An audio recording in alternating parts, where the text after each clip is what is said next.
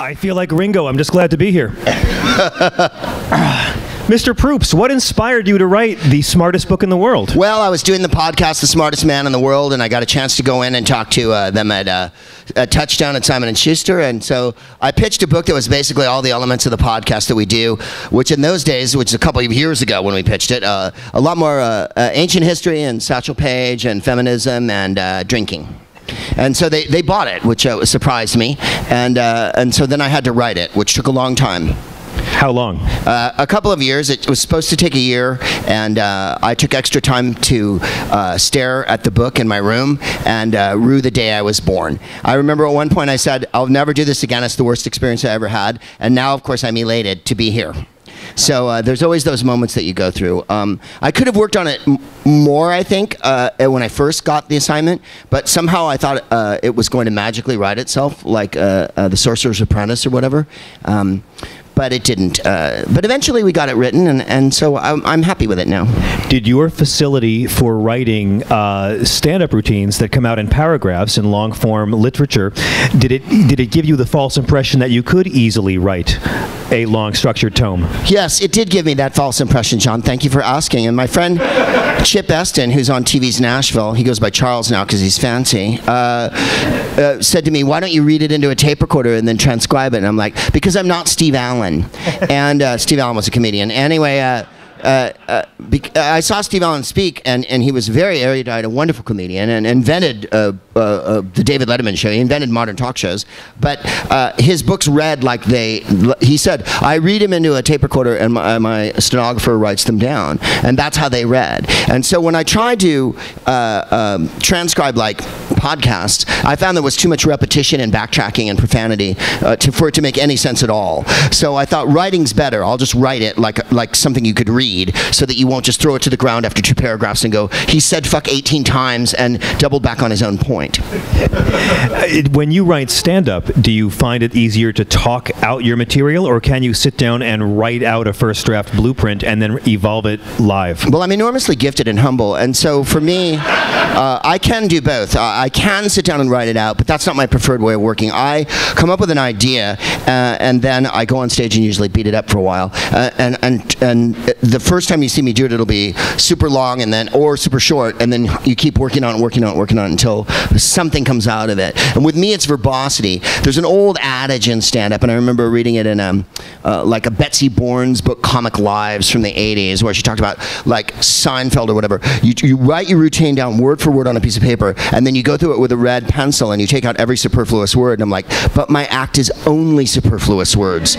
So I don't work that way. Uh, for me, the verbosity is the show, uh, and the more compound adjectives I can put into a sentence, the more illustrative, purple, and ridiculously, you know, scintillating it can be. I think your verbosity is why most of these people are in the room tonight.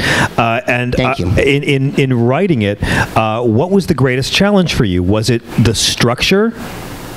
The structure was difficult for me, but my editor Matthews here tonight was very helpful. Uh, like for instance, he said you should do a chapter on bombshells. I want you to define bombshell. What does a bombshell mean? And I was like, I had a go at it, and I failed miserably. So I, I uh, rang him, and, and he goes, "Do a baseball team of bombshells," and then it made That it was his idea. Yeah, that was his idea, and then the Let's art. hear from Matthew. Yeah, uh, Matthew did it. Matthew helped me a lot.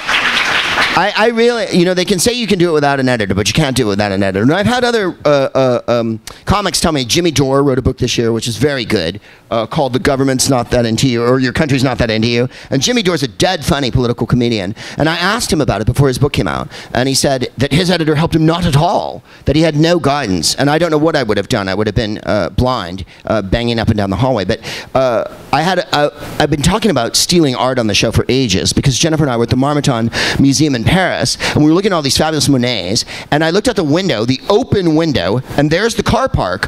And I thought, you could pull a Renault up here. I'll have an epileptic fit. You chuck the fucker out the window, and we'll, uh, we're off to the races. And then it's just drinks later on the Seine. Uh, and we've got the art in the, in the trunk of the car. And so I'd been talking about it a lot, and uh, uh, uh, and I couldn't figure out how to write it. And and Matthew told me, he goes, I've got it. Uh, uh, Ten pieces of art I wish I had the balls to steal. And so that gave me the structure because I'm a, a firm believer in structure. As much as I like to freestyle all the time, a little bit of structure helps uh, you put the idea around it. That's what you can rebel against. Exactly. And so then I decided all the, those works of art that I put in the book are too unfeasibly large to steal. And so then the premise became even more. Then it was the chances of success, uh, uh, how we're going to do it, who we're going to sell it to. And then, then I had the structure, and it, that all came organically, which I think is where the fun of writing uh, and comedy is um, the mistakes the, the mistakes lead you to the next funniest thing. If I'm thinking of it, it's going to be funny, but it's not going to be that funny until something awful happens, and then it's going to be really funny. Uh, Horrible but, experiences make for great stories. Yeah, and anytime, you know, like if someone falls over dead in the audience, or, well, not, not dead, you know, mildly concussed, uh, or something like that, then, then that's the opportunity where humor can come out of that. Leonard Cohen, who's known for his hilarious lyrics, uh, and peppy worldview said uh, cracks are where the light shines through. And i just i love that phrase because it encapsulates it perfectly. Everything i've ever done when a mistake happened it was better because of the mistake I agree about Leonard Cohen, yeah. and, and he takes years to write songs. Oh yeah, there's and famous story of him talking with Dylan about you know writing I and I and, and Hallelujah, yeah. and he says, "How long did it take you to write Hallelujah?" And Cohen says, "About five years." How long did it take you to write I and I? And Dylan said, "20 minutes." Right. Yeah. Right. I scribbled it down. When you're writing, do you like to have critical voices around to tell you what doesn't work, or do you fall into the George Lucas, Kenneth Branagh, Orson Welles trap of surrounding yourself with constantly supportive voices that ruin your early promise? I isolate myself. Yeah. Right. I, I, isolate myself almost completely. I, I go to the Howard Hughes trap of living in a room where I just eat banana nut ice cream and watch Ice Station Zebra over and over again while lying in a, in a day bed. I, I don't want any critical voices at all. Um, I don't. I'm. I rebel against the smallest authority. I, I, when I see a "Don't Walk" sign, I'm like mortally fucked off. Uh, I'm like, "Don't walk, fuck you, I'm walking." Uh, so, uh, have you ever gotten a jaywalking, tic- jaywalking ticket did. in LA? Because I did too. It was yes. humiliating. Outside in New York, you, you're allowed to beat a cop if they try and give you a jaywalking right. ticket. No, I got one years ago. I, I uh, across from Millie's coffee shop in Silver Lake. Uh, I was walking across the street, and the cop pulled me over while I was walking, and and I went, "Are you joking?" And he's like, "No, I'm giving you a fifty dollar ticket." And I was like, "I love this town because there's no rules. like cops are allowed to give you tickets for walking and stuff." Um, yeah, so fuck I, the police is the message of this. Yeah, absolutely, and fight the power. Um, so I, I, I didn't, you know, I'd show it to Jennifer, my wife, and uh, and she'd go like, work on it, and you know, well, or, that's what I'm that's what I'm getting at. I mean, your your wife is your collaborator. Yeah, mostly, and and and she she gives me all the ideas for everything. A lot of the pictures. Uh, when I say pictures, I, she obviously drew all the illustrations in the book. I mean the movies. Uh, I I always talk like it's the old days, and people are like, "What are you saying? Who are cats?" I mean men. What are pictures? Movies. Um, you know the moving pictures, and uh, uh, a lot of the movies are, are her favorite pictures. For instance, the 400 Blows and uh, uh, um, La Dolce Vita and whatnot. I worship the pictures. I think they're fabulous, but it was definitely her impetus to put those in, uh, which makes me seem smarter and more, uh, you know, continental. Um, I didn't. I didn't show it to that many people. I showed it to a couple of buddies here and there along the way, and then I just sort of trusted my self that it would be funny enough. Is there anything from your act that made it into the book? Yes. The description of country music is a joke that I do in my act, and it goes. Um, uh, my understanding is that every country singer since the beginning of time has been visited by a world of hurt, and that there's an unceasing torrent of uh, pain that no uh, light can shine down upon their island of despair or whatnot. And then uh, uh, they have th- it's um, three things have happened. One, their their dog is their, their girl has done left them. That it's not at all certain their dog will survive and their truck won't start and all that. And that that's from my act. I, I rewrote it from my act because I've been doing it for so, and therefore they have been given inspiration by the muse to give voice to their troubles in song. That's what country music is. It's white people's blues, and so I used that intro. And then I didn't put in any country artists that anyone else would put in. I put in Johnny Cash and Ray Charles. Mm-hmm. I put in Ray, Ray Charles did the best country album ever. uh, the two best country albums ever, That's and he revived country music. But I wasn't going to put in a bunch of Toby Keith, Lee Greenwood, I Love America. you weren't really? uh, Willie Nelson followed Greg on my radio show today, so this I- is very right? funny to have this conversation. How do I? Well, Willie Nelson's cool. I probably could have put one of his in. I might have put Redheaded Stranger, one of those, you know, really sagacious, you know, story song albums in. But uh, I, I don't, I don't like patriotism very much. I find it a horrible, feeble emotion that uh, fearful people cling to, and so I, I don't like that kind of country. I like, I like the drugged up, you know, Gram Parsons, uh, Yeah. Merle Haggard country. Yeah. Um, one of the one of the most refreshing things about this book by a comedian, for those who haven't read it yet, is uh, I I like to say comedians are like superheroes. They have to have good origin stories. Um, this is not an autobiographical book. You will learn very little about Greg's traumatizing upbringing and what led him to become a stand-up. To heal the pain. Uh, rather, uh, this is a book of, of humorous essays, and really, in the era of BuzzFeed, pretty daring to do a book with so many lists in it. Uh, and yet, whereas BuzzFeed veers into snark, you keep the whole thing grounded in wit.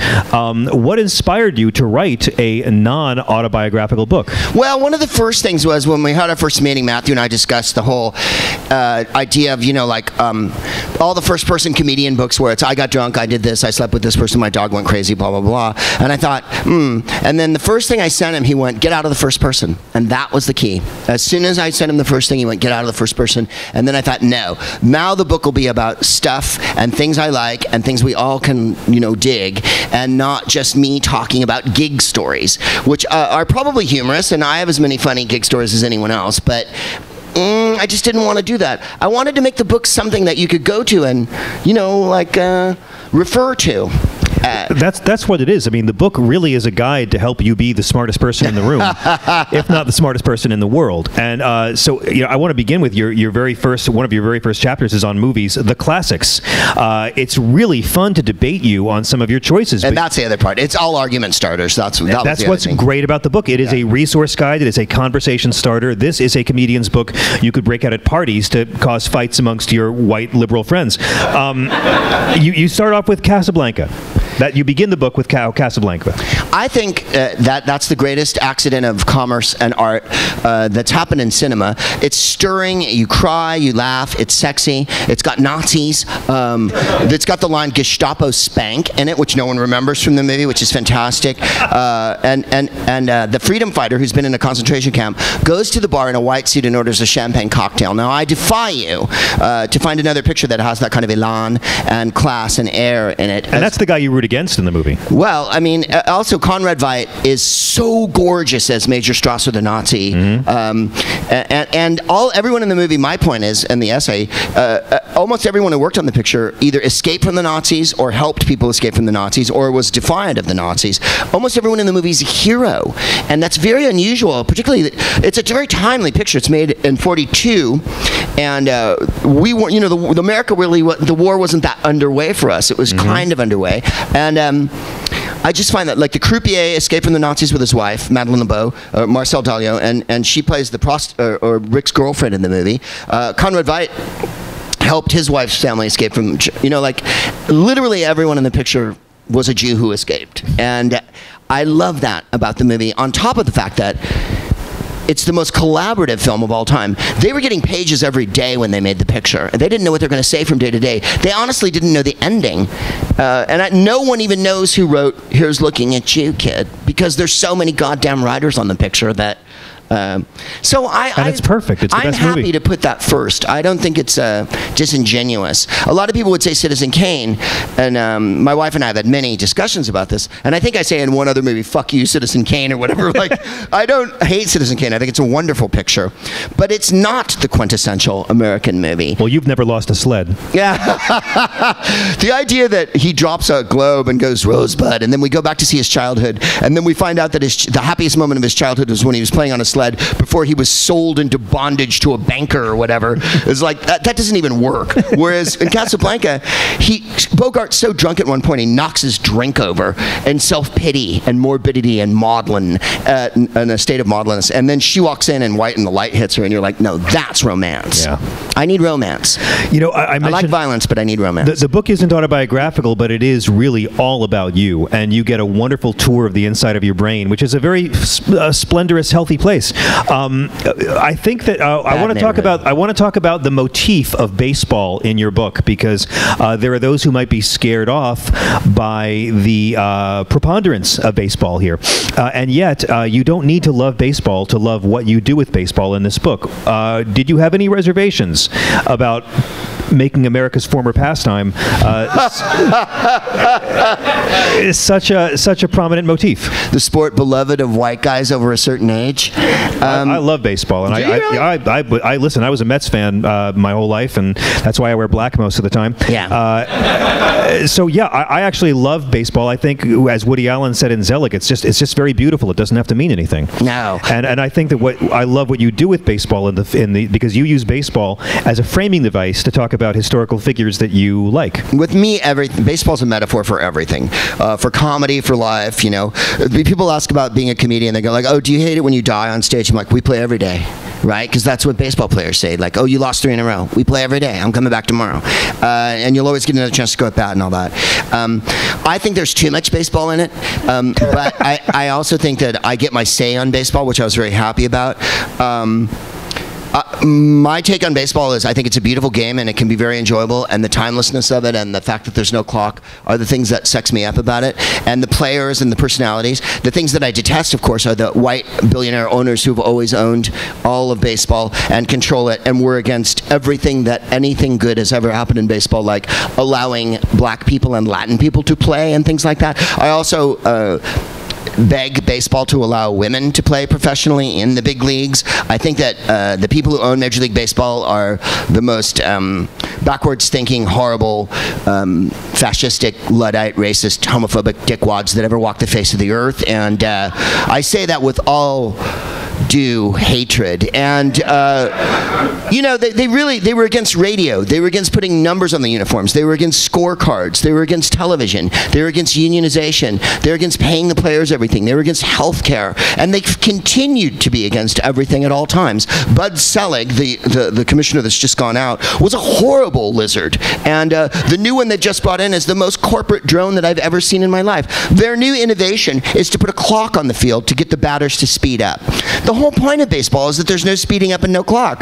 If it gets to, it, in any case, to answer your question, I thought the point was for it to take three hours to sell more advertising time. I'm passionate about it, but I also understand that not everyone likes it. So what I try to do is make it entertaining, and there's lots of baseball teams in it, and that was completely organic. When we were doing the podcast, people would get up and ask me a question, and if you've been to the show, you know that people get up to ask questions, and they say, um, uh, "Who's your all-time Roman Emperor baseball team?" And so I'm like, "Well, Caligula behind the plate because he can handle balls," and. Uh, so it was those glib answers that led me to, and I kept them all on sheets of crappy paper that I had written my sketchy notes on. You know, while I'm doing it, I'm half in the bag, you know, writing down the names of everybody. And so I put a bunch of those in the book. And then, like I said, Matthew gave me the idea to do the bombshell baseball team and then the dictator baseball team, which I thought, how do you make tyrannical despots who commit genocide funny?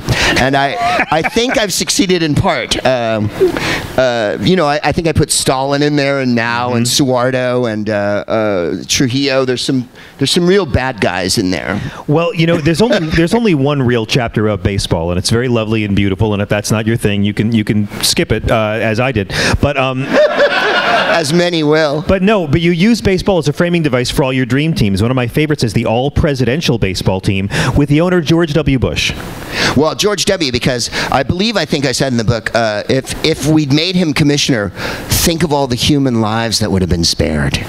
Um, he wanted to be commissioner of baseball. George W. Bush and Nixon, I think, are the two biggest baseball fans that ever were the chief executive. George W. Bush's presidency was so toxic that he will never get to be commissioner of baseball, right? and that's what he always wanted. Yes, he wanted. So before he was president, before they pushed him in to run for president as the uh, whatever he was, idiot king or whatever, that uh, that that if he'd been commissioner, we wouldn't have had maybe the war in Iraq, the war in Afghanistan. Millions of lives would have been saved. The economy of America would have been fine, and we wouldn't have gone through all the trauma that we've gone through, and now this giant war against the billionaires. But uh, uh, so that's why I stuck W in there. Um, Nixon, I remember going to the Nixon Library years ago, and um, him and David Eisenhower had come up with their all-time baseball team, And I remember going up to the counter at the Nixon Library, which is in uh, Orange County in California, and a very staunch uh, Nixonian place. And I went up and I said, I, I understand the president was here uh, a couple of days ago. And the woman behind the counter went, Yes. And I went, That must have been a very profound experience. She was like, It was wonderful. And uh, you got to play their game. You have to be a spy in the House of, Of Love. I'm not going to come up and go, I heard that fascist Nixon. I, came I just by." went to CPAC last month. I know what you're talking about. You know what I'm saying? and uh, uh, you, uh, you you have to love them for that. That's the human part, right? Uh, you know that Hunter Thompson story about where he rode with Nixon in the car, and they go, "We'll let you ride with Nixon, but all you can talk about is football," because Nixon was obsessed with football and gave uh, the '71 Redskins a play to run in the Super Bowl, which they ran, and it lost yardage. But I, so I put the presidents in. George Herbert Walker played first base for Yale. Hmm. Light hitting, light hitting. what we call a Judy hitter, as in punch and Judy. Well, you know, I, I remember as a kid in the '80s, whenever I went to Shea Stadium, Nixon always had his box seats right next to the Mets dugout. Oh, yeah. When David Cone won his 20th game in 1988, President Nixon greeted him in the dugout to congratulate him. Nixon loved baseball. I don't. I love that he went to the Mets games. MacArthur evidently spent the, the end of his life sitting at the box seats at uh, the Polo Grounds in New York, watching the Giants games. Uh, you have um, uh, These are these and some other things that aren't in the book uh, are available in a pamphlet I'm writing called "Shit Only I Like." uh, I, I like that you have Bill Clinton playing third base. What, what, I forget what I said about him. Was it? Can you see all the chicks, or that's Kennedy? That's Kennedy. that- Yeah, yeah, yeah. I can't But. Barack, that- you have Barack Obama at second base. Yeah, because he can slide so easily to the left or the right. See what I did? See what I did?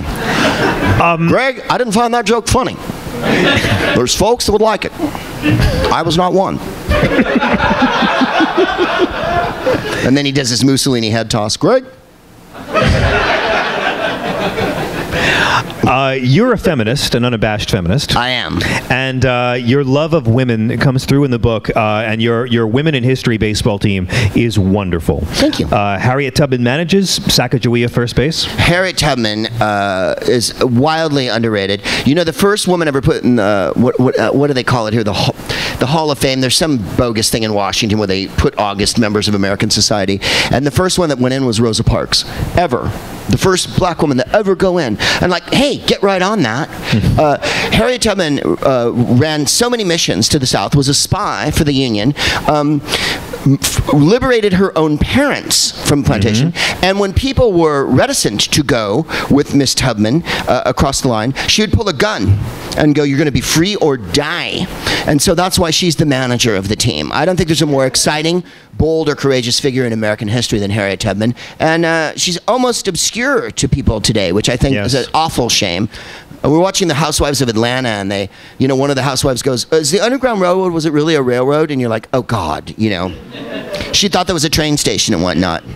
No, I mean it's it's it's kind of appalling to think in 2015 you can still have the Confederate flag, the flag of an enemy nation, uh, of quitting America because you want to keep people as livestock, and that can fly above the South Carolina state capitol. But Harriet Tubman does not appear in our currency. Um, I'm all for it. There, you know, there's a big movement to put women on the twenty dollar bill now, Yep. and there's one in England to put them on the ten quid bill. And uh, you know, you know how people are. Uh, I, I was reading. We did it on the podcast a couple weeks ago, and Jennifer sent me the article with all the women on it, and I read them off. And the comments afterward, I mean, like misogyny is, you know, doesn't even begin. People, like, well, the first one was like, none of these women were president, and it's like Alexander Hamilton wasn't president, and he died in a duel. So I don't know what your criterion for people on money is. Benjamin Franklin, you know, whatever, you know. Well, It's crazy. we all like you know completely sober guys who fly kites in thunderstorms. um, well, uh, so he slayed mad chicks. he really he really did. How do you compare? Francais. How do you compare American audiences to British audiences? I find that British audiences are uh, not as aware as American audiences. They're not as erudite. The American audience is keen. Uh, they love books. They want to buy them when they go to a bookstore to hear an author talk. Uh, whereas the English audience very resistant to that. Uh, um, I think 20 years ago there was a major difference. I think when I first started going to England 25 years ago, the English crowd was slightly more erudite, uh, and now. Um, there's been a dumbing down of because people say things like well, when you're in England, that TV must be really good. And it's like, no, it's England's hottest fireman. Yeah, I mean- page six girls. Right. England, English TV is is absolutely uh, it's strictly come dancing. But isn't their dumbest stuff better than most of our stuff? no. I don't. I don't agree with that anymore. They like to insist that Americans don't have a sense of irony, and we do. Uh, I, I think there's plenty of comics and plenty of writers in America that have dealt with a major irony here. They like to think that because it makes them feel better about having pissed away their uh, crappy Empire. Yeah, their empire that they committed genocide on the world on, and then they blame us for everything. They're like, "Oh, Iraq," and you're like, "You guys made the boundaries of Iraq." Uh, oh, oh, uh, Israel. they were the guys who decided three tribes that hated each other should be one country. Thank you. And then, uh, oh, oh, Israel and Palestine, and then blah, blah, blah, blah. Um, you guys signed the Balfour Declaration. You're the ones who created the Middle East situation that we're dealing with now, but they, they don't want to admit that because we've got the cards and shit like that. Um, are they witty and erudite? Yes. And this is the thing I learned in England that Americans don't really play, and especially in LA where I live, which is, as you know, where Satan's um, knob is there, so you can all. In America, people can say unsupportable nonsense, and everyone just nods their head and goes, "Oh." And people say things like in America, like, "Well, I don't know what the facts are, but I know how what I believe and what I feel." And if you said that in England, you would be shut down in a Yeah. second. If you raise a point uh, with English people, they go, "Oh, really? And why is that?" And then you're to cite why that is and the facts that you know and the things that you've read and why you form this opinion. And that forced me as a human to deal with that. And, and i think jennifer as well. We were at a party once and she made some casual remark like oh corporations run the world or whatever and the guy went really? What do you think people in third world would have to say about that? The people that you know and you're like okay okay. So you can't just say specious bullshit there and expect to have everybody go, oh, I agree with you. And I think that's the thing I learned in England that I've kept. So in the book, I didn't use Wikipedia or any of that jazz. I used books to cite things out of. I used the internet, but I would go to actual sites with facts on them. Um, and uh, I try in my show, my podcast, when I read people out the news or whatever I'm talking about, I say, this is from Fox News, this is from The Guardian, this is from this book. I don't just go, well, this is uh, when I'm getting to my opinion, you'll know. But like, you know, you, you you could watch uh, television now and never hear a fact. I never heard anyone cite anything. Uh, the other night on Fox News, uh, uh, what were they saying? Oh, uh, someone got shot in Baltimore. It simply didn't happen at all. The event didn't happen. They're making up news to make people afraid, and tha- that's always my message to everyone: is don't trust anyone uh, that you hear. The media, they're lying to you. They have a corporate agenda that they have to fill, and uh, and don't trust me either because I have a huge liberal axe to grind. One of the reasons why uh, That was supposed to be funny, but please. You're a very respectful crowd. You honor everything I say with a moment of silence. Well, I, I always thought the media is not liberal. The media is terrified of being called liberal. Uh, I couldn't agree more, John. Uh, the media, there is no such thing as liberal media. That makes me laugh so hard. But, but in a free society, shouldn't it be a liberal media? And that doesn't mean pro-democratic party. No. That means challenging authority, standing up for the little guy, and, and stirring up shit wherever you can. That's what a liberal media is to me. challenging every party. I don't. I don't subscribe to any moneyed interest. You know what I mean? Like, uh, if it was really truly a liberal media, uh, the, the, the news wouldn't be at all the way it is. Uh, they, when, When they cover an anti-war rally as much as a Tea Party rally, I'll believe it's a liberal media. Well, you remember at the beginning of the Iraq War, uh, I marched in a march in uh, San Francisco with uh, Jennifer, and uh, uh, there was, I would say, a Governor quar- Granholm. Ah, no, my wife, Jennifer. Oh, I'm sorry, I thought you meant the other Jennifer. I wish Jennifer Granholm Sorry. was in it. They went she to probably would have too. I went to. I went Sorry, school your wife, Jennifer, the other Jennifer. There's a lot of Jennifers, and uh, Well, actually, I'm, I'm so, forgive me for saying that. We were talking backstage because he actually went to college with Governor Jennifer Granholm, who I worked with in San Francisco, which was my Freudian slip. and she's fabulous, and uh, she can't run for president because she was born in Vancouver. Your Jennifer's more fabulous. Continue. Well, my, my Jennifer is more fabulous. So we were walking in this march, and it's a peace march. And if you've ever been in a peace march, my joke is always uh, fascists goose step and lock together, right? They're going, we hate queers and we hate this, you know, and they all agree. And there's room for all of them. They can minorly disagree on things, but they basically, the thrust is, you know, the rich are awesome. And, uh, and when you go on a peace march, it's like herding cats, right? I'm from San Francisco, where if you're in a crowd of this many people, however many people are here, there's twice that many agendas. Someone will go, I'm only here because I like butterflies. Or I heard someone was going to talk about soup. You know, like there's It's no, the, yeah. there's no sense to it. You It's know? the hemp guy. It's the abortion people. Right. And then someone will go, I'm not going to march today because someone's smoking. Or I'm not going to march because someone's wearing leather shoes. And you're like, you guys, we've got to win. Don't you understand? The reason the fascists are winning is they can disagree on minor points. Whereas liberals are like, I'm, you, you're, someone ate meat today. I can smell it. My vibes, you know. So we march, and there's 250,000 people in this march. And my joke was, uh, and the press recorded that there was uh, 100,000 people, and Fox News said there were two crazy people running up and down the street. We think they're French, and that's how they report. And so Bush, if you remember, there was a march in London that had over a million people. There was a march in New York with I think 500,000 people. March in San Francisco with 250,000. All same weekend, and Bush went, "I don't govern by polls." He called millions of people in the street all over the world protesting a war polls. And so that's the kind of disregard the wealthy have for any any opinion that, that the people would hold. The fact that Cheney came on TV at Christmas, at Christmas last year, and went, I'd torture again in a minute. And you're like, well, happy rectal force feeding to you, Mr. Scrooge. uh, if you want to see the wealthy in action, you can turn on the TV any day and see them because their mouthpieces are up there bloviating every second. Well, then, then your, your talk about how the right works in lockstep is interesting because this is the, currently the debate of our friends on the left about supporting Senator Clinton for the presidency. Uh, I'd love to see a Bernie Sanders presidency. I'd love to see Bernie Sanders have a rank out contest with Jackie Mason.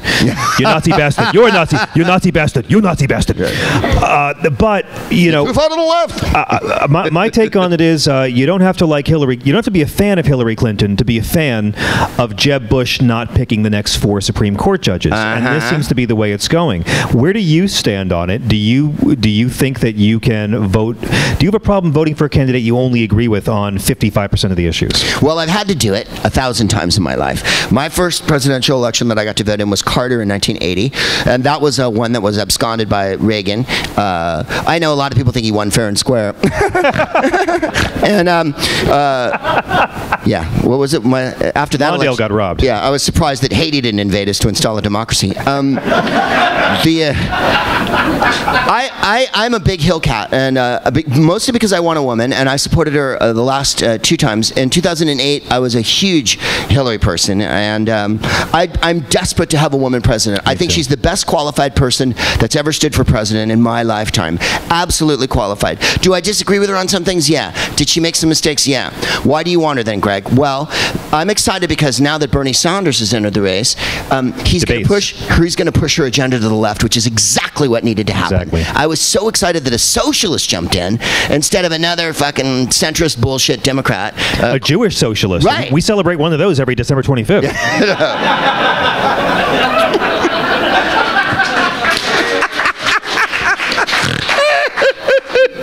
That's fantastic. He's no Joe Lieberman, you know.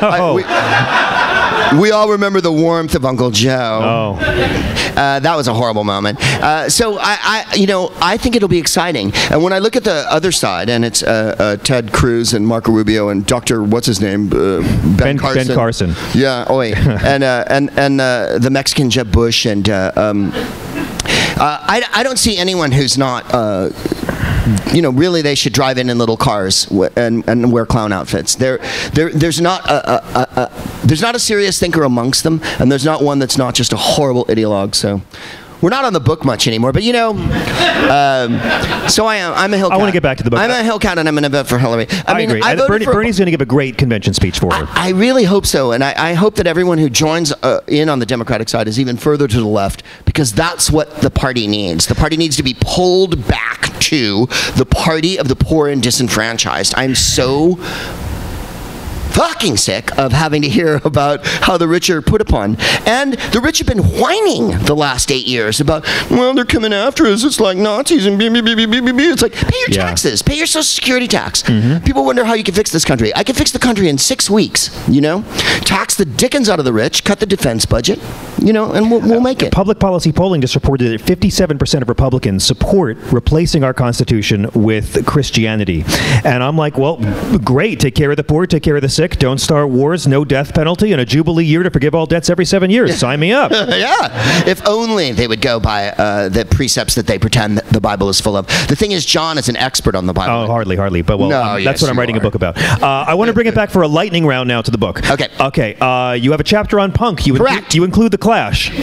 Yes, I do. I include the Clash. Uh, I saw the Clash uh, when I was a teenager. I drove up to uh, San Francisco from the little white suburb I lived in in San Carlos, and uh, we saw them at the Temple Beautiful, uh, which was a, an old um, Jewish temple. It had Jews' names all over the walls, and the this balcony was sagging and whatnot. And Joe Strummer's eyes were rolling back into his head, and they were all speeded out. It was one of the greatest shows I've ever seen. Probably one of the two greatest rock shows I've ever seen, and um, that's why I put them in. But I put in London Calling because I think it's the sprawling, uh, comprehensive Clash album, and uh, I love the producer whose name escapes me. Um, he's an American. Um, it's in the book. Anyways.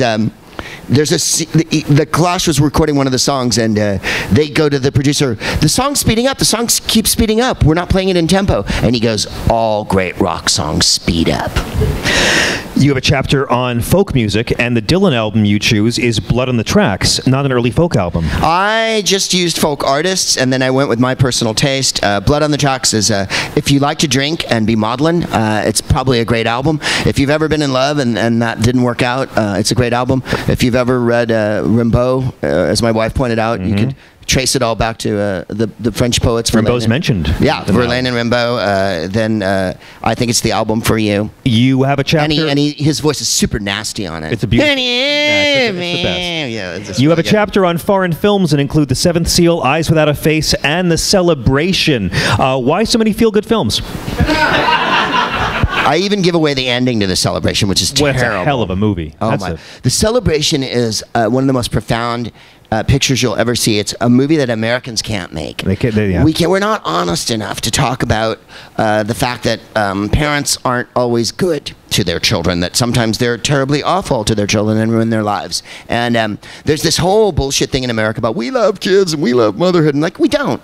If we did, then children and mothers wouldn't be homeless. The bulk of people that are in poverty are women and children. So this whole thing about we love motherhood and we love children just rubs me the wrong way all the time. So I stuck the celebration in because I think at the end of it, even though it's a, uh, it- it's tragic, it's a very funny movie. There's is. loads of laughs and it's cathartic at the end because they go through what they go through and the truth is completely revealed.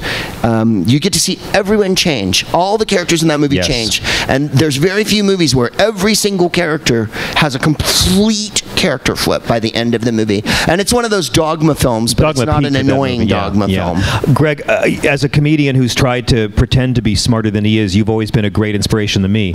And I'm just curious to, before I wrap up, did you ever have a period in your career where someone put pressure on you or you felt you should put pressure on yourself to dumb it down for commercial reasons? And how did you rise above that? Well, kind of, but not really. I, I remember my good buddy Will Durst, who's a political comic from San Francisco and is a very funny guy, uh, told me uh, years ago we were having a conversation, and he uh, he said, uh, "I lose jobs because I only talk about politics. Not every club wants me." And I remember giving a tape to a club in uh, Arizona called Knuckleheads.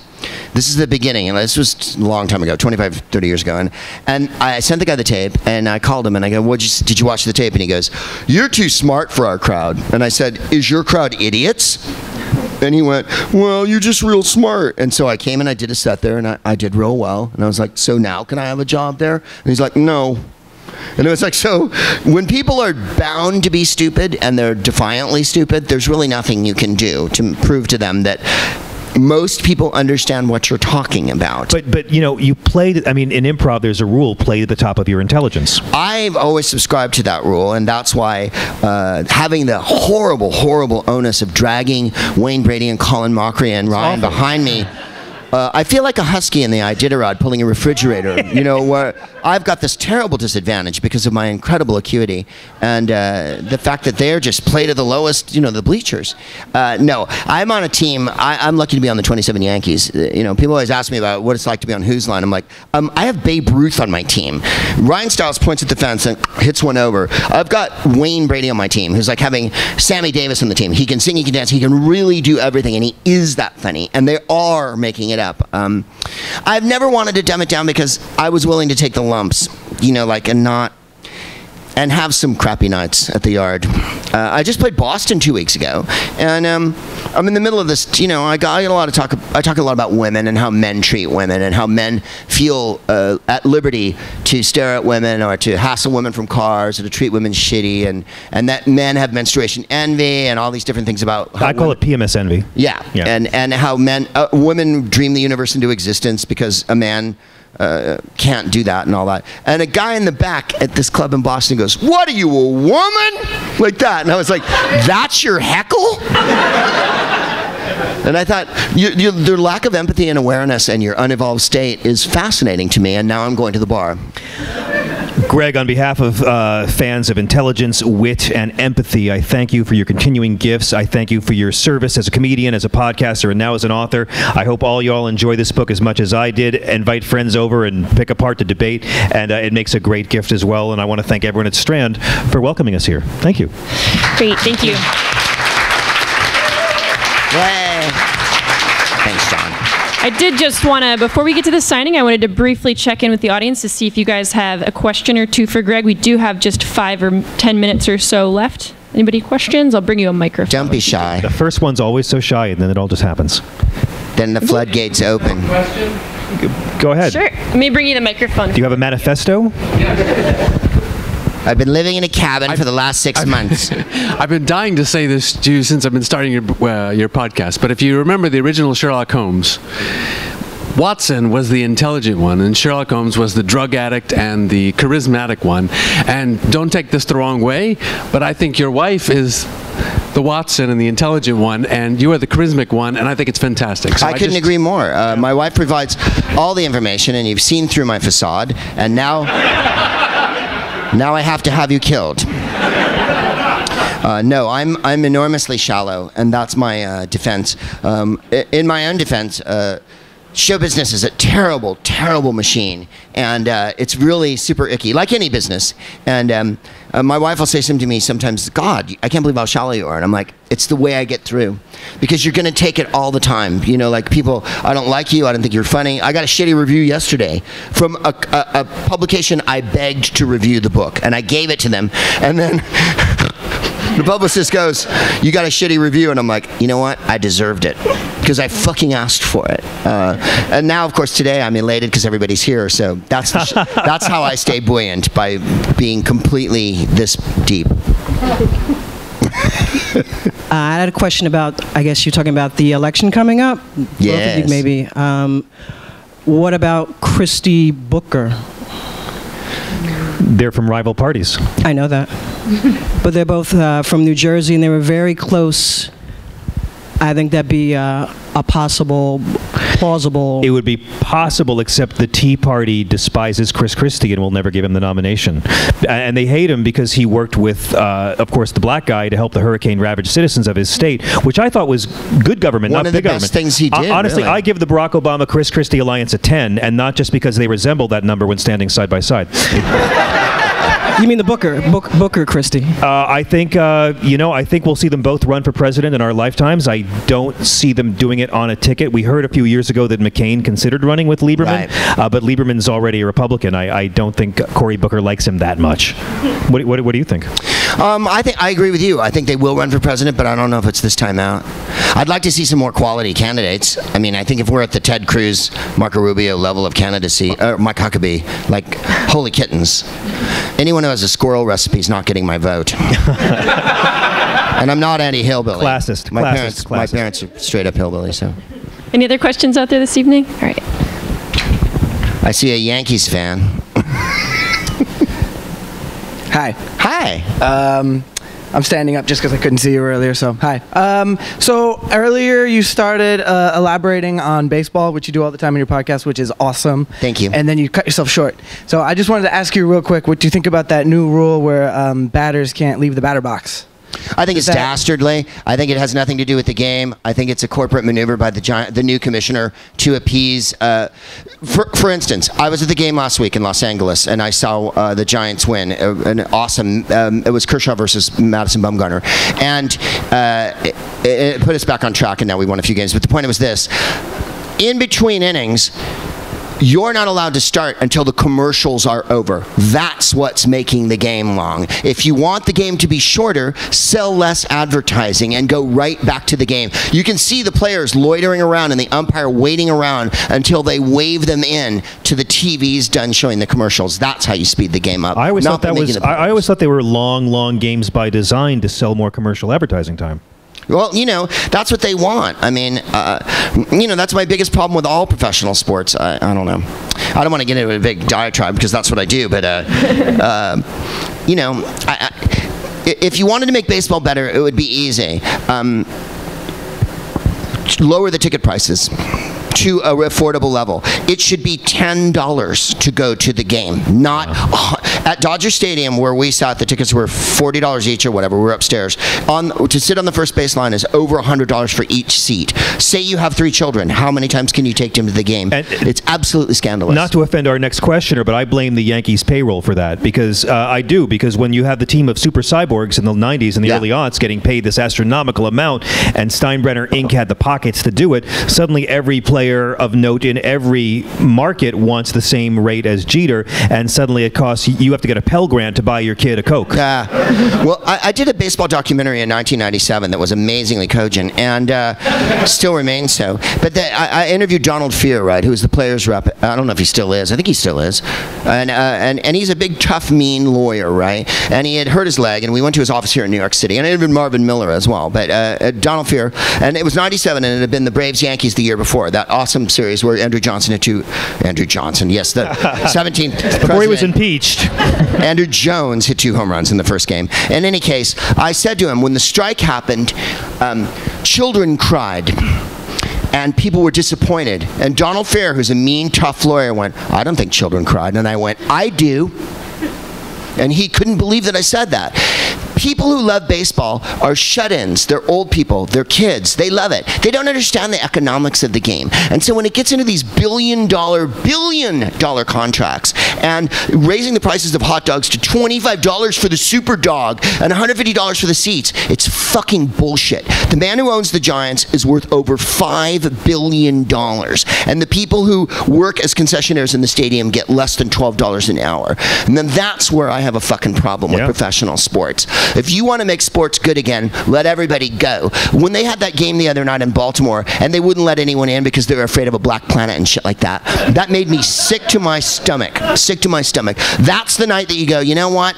Everybody gets in. For free. And Yeah. we're giving everybody a soda and a hot dog. And more than that, we want the children of Baltimore to come to the game to show that baseball's got a heart. Instead, we're going to play a game in a sealed prison camp because we're afraid of the humanity breaching into our fucking pristine thing or whatever. It drives me up a goddamn wall. We have time So for you- one more. you don't- But like the that. book's very funny. I want you to know that. It- the gentleman in the Yankee hat has had his hand up earlier. Sounds. Omar, can you pass? Maybe I'm the only one who thinks this way. And everybody's always like, the players make too much money. The players don't make enough money. Steroids aren't free, you know. I mean, We all argue for the wage we can get. That's all I'm saying. The owners make too much money. Yes, sir. Hey, Greg, I'm Ross. Hi. Uh, so the guy over there had very similar question to mine about the pace of play, which I was opposed to coming into the season, but kind of happy with a game 250 to three rather than three and a half hours for the Yanks. I guess at this point I'll just say don't ever stop talking about baseball because my dad got me into baseball and his dad got him into baseball. Me too. Me and too. even if you don't have kids, I know you don't. no, you're my kids. You're getting young people into baseball, Yeah. and that's important because we shouldn't let this sport die. So don't stop doing it. Talk about it forever and ever and ever, and I'll keep listening. So Thank thanks. brother. that's lovely. That's very kind of you. I think the way to the way to keep it alive is to keep it as international as it, as it is, and then to let women play professionally is Thank the next you. way to do it. Um, there's some shit hot women in the minors, and uh, they're they're ready to go. And don't give me the whole well, men are stronger than women, and or it's a tradition. Um, slavery was a tradition. The Holocaust was a tradition. You know what I mean? I hate tradition. Let's see you pass a baby through a birth canal, Skeeter, and we'll talk about strength. Exactly. We are unfortunately out of time for the evening, but on behalf of Strand, thank you so much, Greg and John, Well, for you guys. joining us tonight. Thank you guys for coming out too. Thank you.